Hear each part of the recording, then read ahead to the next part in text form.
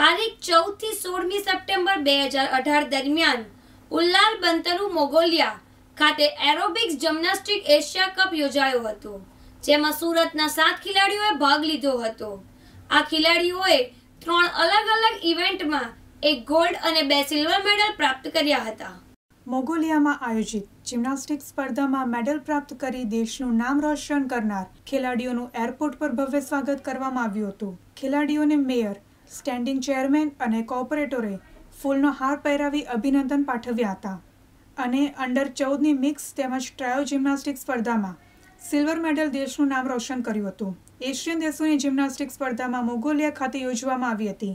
આ સ્પર્ધામાં સુરતના સાત સ્પર્ધકોએ ભાગ લીધો હતો.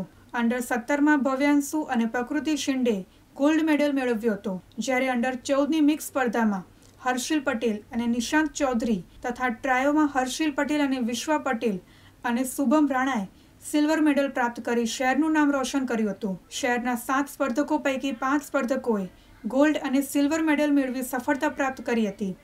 મંગળવારે સવારે ખેલાડીઓ સુરત એરપોર્ટ આવી પહોંચ્યા હતા. એરપોર્ટ પર વિજેતા ખેલાડીઓનું ભવ્ય સ્વાગત કરવામાં આવ્યું હતું. શહેરના મેયર જગદીશ પટેલ, સ્ટેન્ડિંગ કમિટીના ચેરમેન અનિલ ગોપલાણી સ્થાનિક કોર્પોરેટર સુધન હાટા, હિતેન્દ્ર ગામિત સહિતના કોર્પોરેટરો અને મોટી સંખ્યામાં કાર્યકરો હાજર રહ્યા હતા. ખેલાડીને ફૂલના હાર પહેરાવી તેનું સ્વાગત કર્યું હતું. બાદમાં ખુલ્લી જીપમાં બેસાડી જાહેર અભિવાદન કરવામાં આવ્યું હતું.